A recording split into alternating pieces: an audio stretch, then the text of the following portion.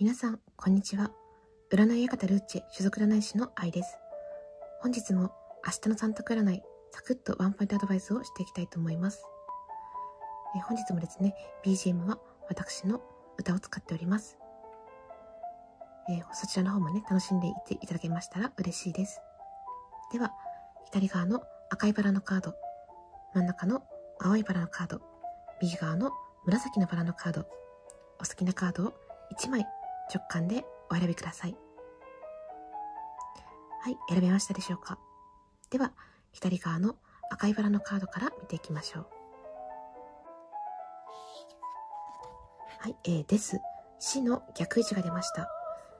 そうですね、今、あのご自身の中で、あの、断ち切るべきことがあると分かっていても断ち切れない。そうですね、あの、前になかなか進めない状態になっているのではないでしょうか。はい。えっ、ー、と、何かを断ち切ることはとても勇気のあることではあるんですけれども、はい、このままこのずるずるとあの問題が続いてしまいますとあの精神状態がですねとても悪くなってしまう。無気力になってしまう。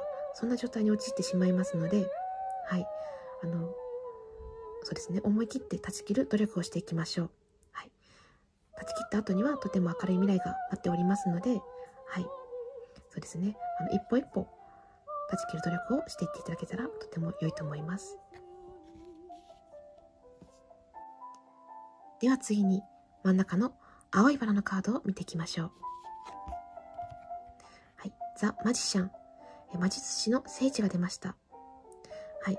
えっとですね、今、あの何かに挑戦しようとする意欲にとても溢れている時ですので、はい。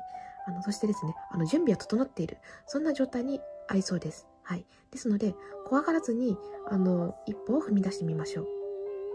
はい。とてもですね、あの、何かを始めるのに良い時ですので、はい。ですね、そして今まで準備してきたことが、あの、こう、うまくいく準備が整っている状態なので、はい。そうですね、思い切って、あの、ことを進めてみましょう。では最後に、右側の紫のバラのカードを見ていきましょう。はい。ザ・スター、星の逆位置が出ました。そうですね。あの、今ご自身の中で、ちょっと目標をですね、見失ってしまっている。そんな状態にあるのではないでしょうか。またですね、その、掲げていた目標が高すぎて、ちょっとくじけ気味になってしまっていたりですとか、そうですちょっとそういう、あの、あの、諦めという心がですね、芽生えてきてしまっておりますので、まず今自分に何ができるのか、もう一度ですね、目標を、えー、定め直してみるととても良い方向に進んでいきそうです。はい。